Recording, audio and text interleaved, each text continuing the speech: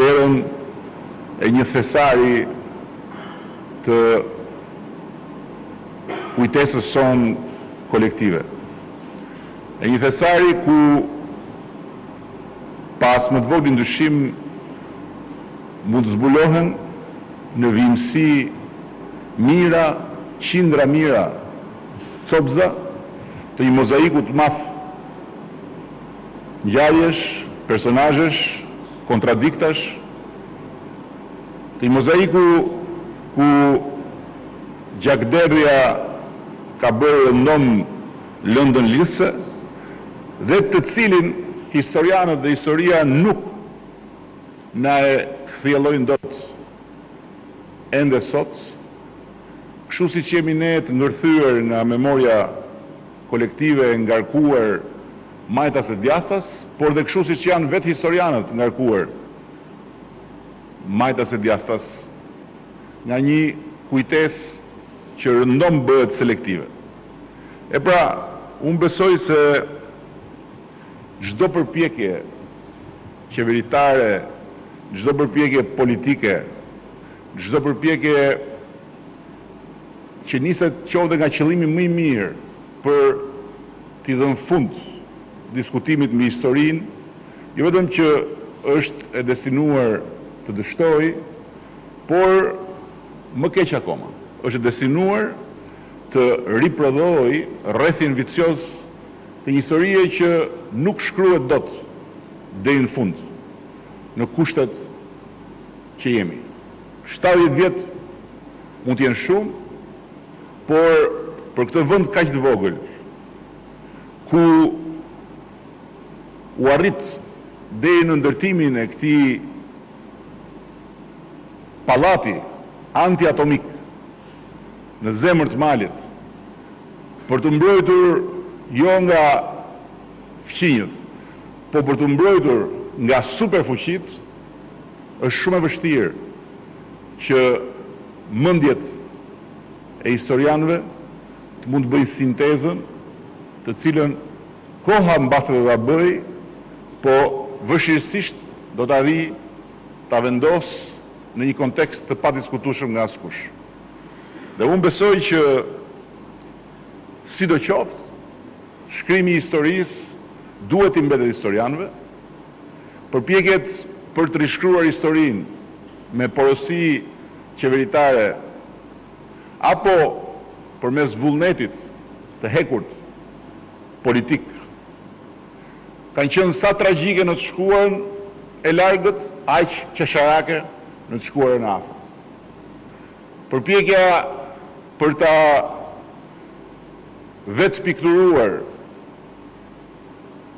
vetveten në një kontekst të zgjedhur politikisht, ka rezultuar sa tragjike në të shkuarën, aq qesharake në të shkuarën e afërt. Ne nuk i takojmë kësaj shkolle të të jetuarit dhe të të menduarit. Ne i takojmë një shkolle të re për Shqipërinë, por një shkolle të vjetër për botën e lirë dhe për familjen e vendeve që besojnë tek liria e të menduarit dhe tek liria e të shprehurit, ku historinë e shkruajnë shkencëtarët dhe e diskutojnë mes tyre njerëzit e shkencës së historisë. Nuk e shkruan as Shpia e Bardhë, as Kongressi Amerikan, as Parlamenti Europian, As qeveritë e vendeve të Bashkimit Europian.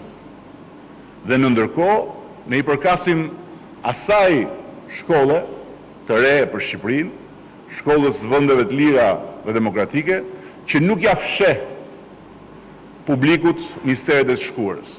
A ka kush mundësi të më thotë se si është e mundur që kjo ngrehinë të ruhej si mister dhe t'i fshihej publikut si sekret shtetëror, jo vetëm nga ata që besuan se një ditë do mblidheshin këtu për të luftuar me botën mbarë edhe për t'i rezistuar superfuqive, po dhe nga ata që i gënjeu mendja dhe e gënjyen vazhdimisht popullin me iluzionin se e përmbysën bashkë me regjimin e vjetër edhe mendësinë e atij regjimi. Ruajtja e këtij misteri dhe e këtyre mistereve, ashtu si dhe ruajtja me fanatizëm e misterit të dosjeve, të të shkuarës, dosjeve të sigurimit të shtetit, ku fshihen plot të vërteta të hidhura, janë në fakt vazhdimësia e të njëjtës shkollë, e shkollës vjetër politike të të sunduarit mbi tjetrin pavarësisht kostos. Dhe pavarësisht tonelatave të propagandës gënjeshtare që derdhet përditë mbi të tjerët, ne jemi këtu për të çelur një fazë të re raportesh me të shkuarën. Jo për të rishkruar historinë, po për ta ekspozuar të shkuarën në të gjitha format që e disponojmë, si një mundësi për t'i vendosur përpara syve gjeneratave të reja në radhë të parë po dhe gjithë tjerëve dëshmitë e saj, skutat e saj, imazhet e saj, dokumentat e saj dhe nga ana tjetër, padyshim, si një mundësi për të inspiruar imagjinatën krijuese, pasi pa as më të voglin dyshim instalacionet që pamë bashkë me dhomat autentike të shefave të regjimit vjetër, janë një dëshmi kuptimplotë e mundësisë që të krijon kjo hapësirë për të krijuar hapësira të reja, hapësira të reja të të imagjinuarit, të të menduarit, të të bashkëjetuarit, përmes fuqisë së artit. Dhe padyshim, së treti, këto mjedise janë trashëgimi e një kulture të jetuari që ju siguroj Do të tërheqin shumë herë më tepër turistë sesa ç'mund të tërheqi ajo shqiponja e tmerrshme që kanë vendosur te rrethrrotullimi i doganës. Një shëmbëlltyrë e krijuar për të qenë në sipërfaqe të sheshtë. qoftë në sipërfaqen e sheshtë të flamurit, qoftë në sipërfaqen e sheshtë të qindarkave dhe që kthehet në një shëmbëlltyrë që vendoset në një sipërfaqe tredimensionale siç është hapësira. Këtë lloj marrëzie vetëm ata që s'kanë sy për të parë hapësirën mund ta bëjnë. Dhe jam i sigurt po ashtu që ky shtatëdhjetë vjetor i çlirimit të Shqipërisë, nuk është momenti për të nxituar se kush del më shumë partizan dhe as për t'u ngutur se kush del më shumë kolaboracionist ndër ne të gjallët. Asnjëri nga ne nuk ka qenë partizan, asnjëri nga ne nuk ka qenë kolaboracionist. dhe asnjërit nga ne nuk i takon të bëjë si partizan apo të bëjë si kolaboracionist që partizanët e detyruan të bashkohej me palën tjetër. Ky është një folklor ordiner, njerëzish pa imagjinatë dhe njerëzish që jetojnë në hapësirën jo tredimensionale po dydimensionale të një politike që Sot duhet të gjejë mënyrën t'ia u shpjegojë shqiptarëve si ka mundësi që mbas gati çerek shekulli mund të vijnë dhe të shohin këtë sallë që është krijuar për të qenë salla e parlamentit në kushtet e sulmit atomik. Sigurisht dikush mund të dali në Facebook edhe të thotë që u mblodhën atje te parlamenti ku do të detyrohen të mblidhen nga fuqia e protestës popullore e ku diun çfarë. Por, në fakt, ajo, ajo, ajo që, që vlen të thuhet është se me siguri, Një vizitë në këtë ngrehinë antiatomike do t'u tregojë vajzave e djemve të këtij vendi mbi diktaturën, mbi Enver Hoxhën, mbi Mehmet Shehun, mbi gjithë hordhitë antinjerëzore dhe antifetare që prodhoi ai që u quajt çlirimi i atdheut. se sa ç'mund t'ju tregojnë të gjithë historianët e mbledhur së bashku, të cilët në rastin më të mirë mund t'i kthejnë lexuesit e historisë në partizanë dhe në gjermanë. Kush e ka familjen me të majtën bëhet partizan, kush e ka me të djathtën bëhet gjerman. Ndërkohë që ky është një konfuzion i madh. Një konfuzion folklorik, Shumë vulgar dhe shumë i dëmshëm. Që nuk na lejon të jemi të lirë dhe nuk na jep mundësinë të çlirohemi nga e shkuara. Ky është vetëm fillimi. Ka të tjera vrima, ka të tjera skuta, ka të tjera hapësira që i janë ruajtur njerëzve si sekrete shtetërore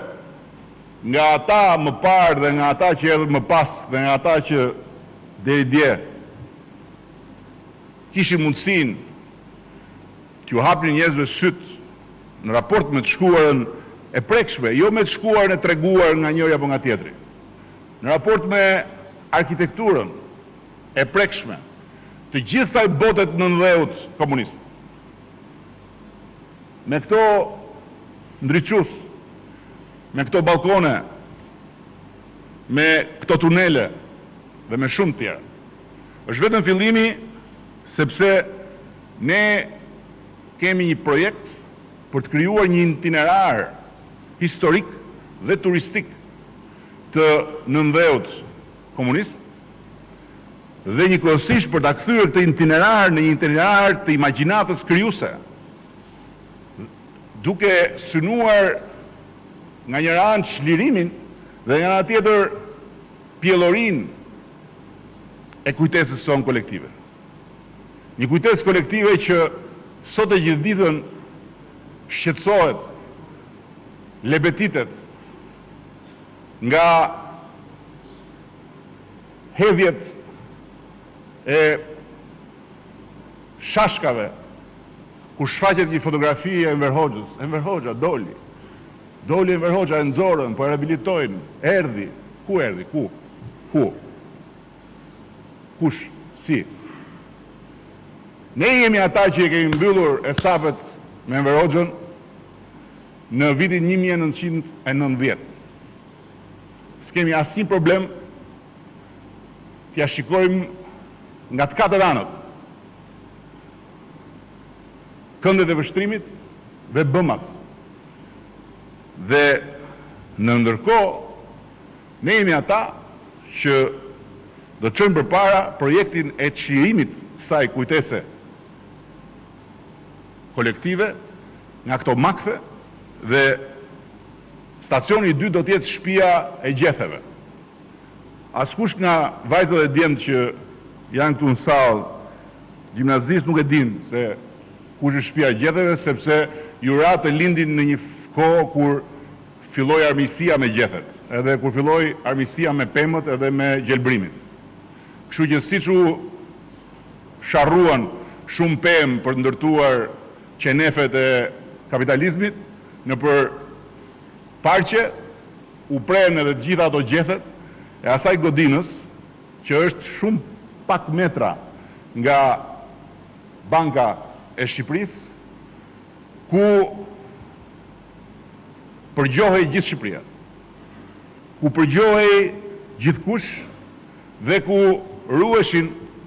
zërat e regjistruar të të gjithë të dyshuarve të regjimit komunist. Dhe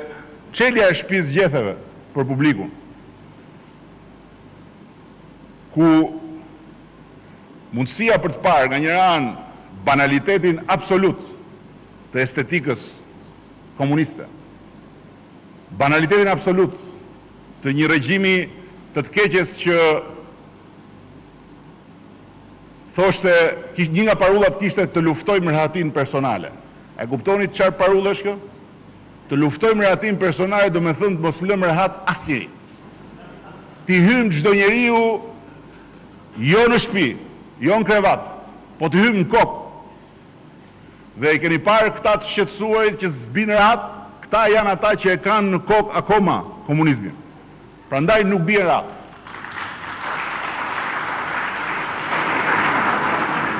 Dhe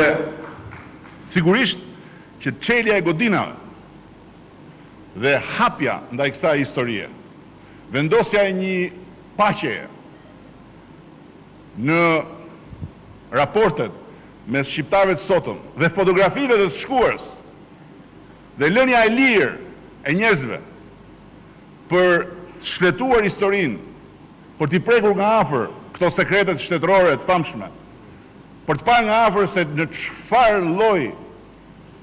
ferri e futi një popull të tërë një ideologji që premtonte parajsën dhe për të kuptuar njëkohësisht se sa shumë të rrezikuar jemi vazhdimisht nga mendimi unik, nga fashizmat, nga fundamentalizmat e të gjitha formave, nga nacionalizmat dhe nga islamizmat ekstreme, ashtu sikundër edhe nga racizmat dhe nga ksenofobitë, është domosdoshmëri sot.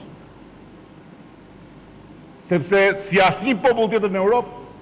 jemi të penguar prej kaq shumë vitesh që të kemi një raport normal me të shkuarën, dhe na pengon prej kaq shumë vitesh zgjatimi i të shkuarës, na pengon prej kaq shumë vitesh kthimi mbrapsh i një xhakete të vjetër që iu shit popullit për vite me radhë sikur ishte xhaketë e re. Por kjo është e paplotë pa hapjen e gjithë arkivave të komunizmit. Pa vënien nxjerrjen në dritën e diellit të të gjitha prapësive të fshehura në këto skuta, në formë dëshmish, në formë zërash, në formë bashkëpunimesh për